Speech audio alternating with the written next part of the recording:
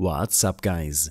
In this tutorial, I will show you how to fix the something went wrong in the login process error you are getting in the Minecraft launcher. First, make sure to completely close the Minecraft launcher. Also, check your task manager to ensure there are no Minecraft related processes still running in the background. Once everything is closed, we'll proceed with the solution in two simple steps. The first step is to reset the Minecraft launcher. Search for installed apps in your start menu and hit enter. In the list of installed apps, search for Minecraft. When you see the Minecraft launcher, click on the three dots next to it and select Advanced Options. Scroll down until you find the Reset button. Click on Reset and, when prompted again, confirm the reset.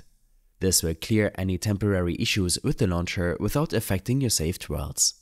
Once the reset is complete, the next step is to restart a few essential Windows services that Minecraft relies on. Search for Services in your Start menu and hit Enter to open the Windows Services Manager. First, locate a service called IP Helper. Double-click on it to open its properties. Set the startup type to Automatic, then click Start to run the service. Click Apply and then OK. Next, scroll down and find the service named IKE and Auth IP IPsec keying modules. Again, double-click on it, set the startup type to automatic and click Start. Apply the changes and click OK. Now look for Xbox Live Authentication Manager in the list. Open it, set the startup type to automatic, then stop and start the service to refresh it. Click Apply and then OK.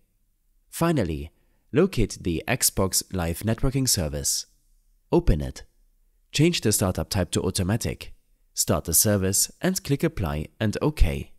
Once you've completed all of these steps, restart your PC and try launching the Minecraft launcher again. In most cases, this should resolve the login error. If the issue persists, the last option is to uninstall the Minecraft launcher from your system and reinstall it from the official Minecraft website. I hope this helped you out, leave a comment if you have any questions and see you in the next one.